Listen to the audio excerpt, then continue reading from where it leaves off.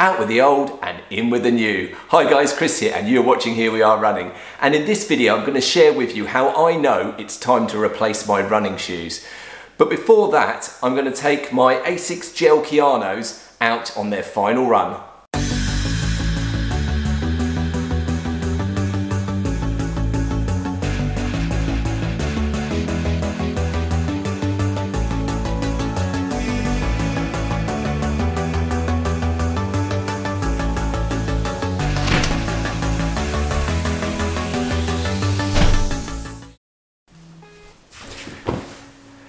So, the final 1.3 kilometre run in my Asics Kayano 26, taking them up to a nice round 800 kilometres or approximately 500 miles.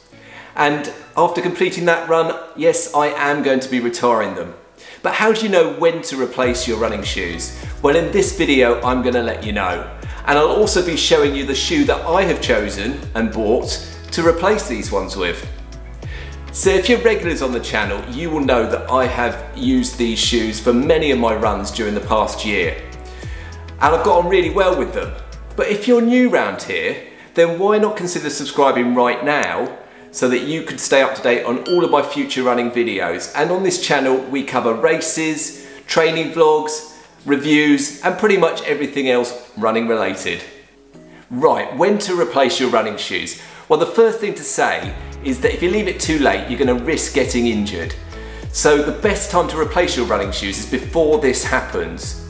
And there are several signs to look out for when deciding when that time is. First, the midsole. If the midsole wears down, you're losing part of the shoe that is giving you the structure and cushioning. However, it's often hard to see visible signs that the midsole is worn out. You'll have to judge it more on feel.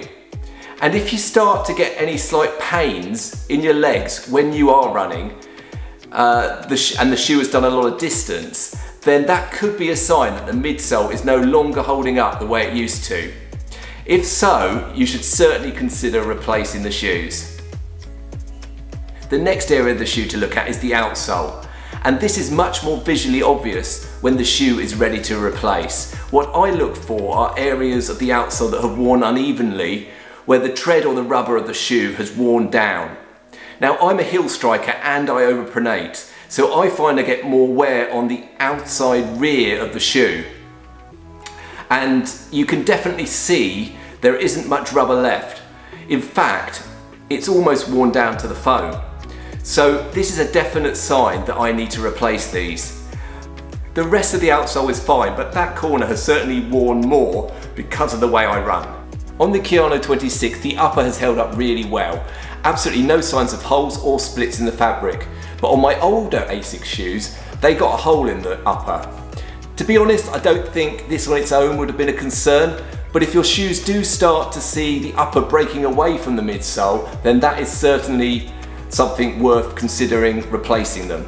On my Kayanos, there is one other area that is a clear sign that I need to retire them, and it's the inside of the heel. During the last 50 miles, this has really started to break up.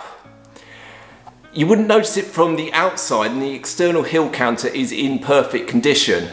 But this bit here on the inside is really starting to lose its shape and the material is broken inside. So there you go guys, after 800 kilometers or 500 miles, my Kayano 26 running shoes have certainly seen better days and I'm no longer going to be wearing them for running. But what are you going to replace them with, I hear you ask? You were asking that, weren't you? Well, I'll tell you anyway. I'd replace them with, and drum roll please,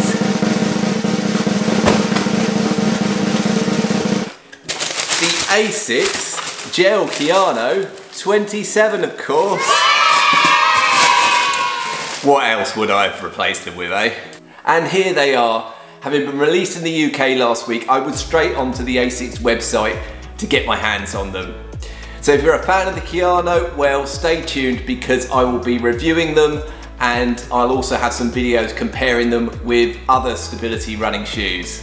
Guys, I do hope you've enjoyed this video and found it useful. And if you have enjoyed it, please do hit the thumbs up button to give the video a like. And if you're new around here, well, why not consider subscribing? But for now, guys, goodbye.